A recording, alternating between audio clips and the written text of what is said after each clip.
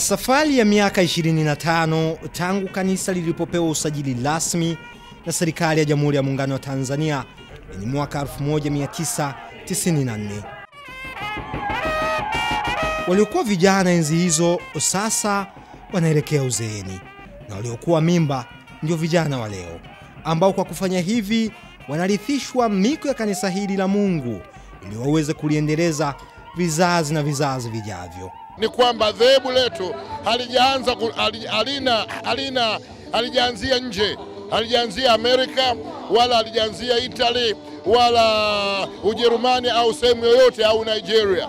Hili ni dhehebu baada ya watumishi wa Mungu kukaa na kushukiwa na Mungu, origin yake ni Tanzania. Hapa wamekusanyika waumini wa kanisa la CAG kutoka mikoa sita ya kanda ya ziwa Victoria, wakiimba, kusifu na kuabudu kama sehemu ya kusherehekea siku hii muhimu katika historia ya kanisa hilo. Usajili tulipata mwaka wa 94 ambapo leo tunasikia miaka 25. Kuna maono ambayo Mungu aliyotupa ya kuinua misingi ya vizazi vingi, yaani kuwasaidia watu na kuweza kuwainua. Hakuna mtu yoyote atakayesimama kwenye maono ya kimungu akaharibikiwa. Kanisa linapoadhimisha siku hii, vijana ndio wanaopewa nafasi kubwa katika kuendeleza kijiti hiki. Ya kwamba kijana, heshimu wazazi, heshimu viongozi wako wa kiroho, usiingie katika vita na mapambano yote yaliyoko katika nchi hii. Simama na Mungu na wazazi wote wa kiroho, maaskofu wote, o, mitume na, na manabii wote, tusimame na Mungu, atatuongoza. Haikuwa safari rahisi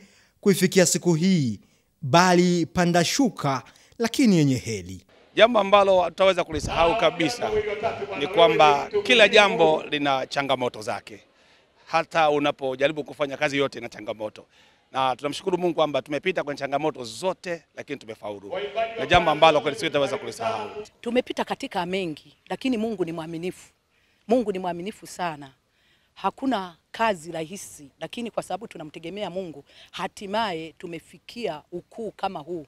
Tuna makanisa mengi zaidi ya 850 Tanzania nzima. Miaka 25 ijayo, CAG ni wenye maono makubwa katika kuwakomboa Tanzania.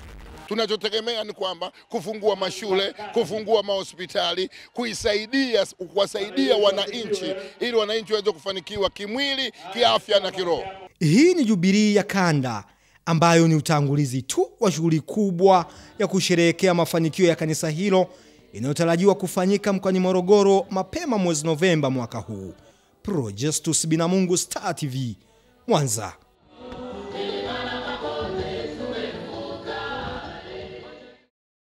Bofya kitufe cha subscribe kisha gusa alama ya kengele kupata taarifa za Star TV muda wote, wakati wowote.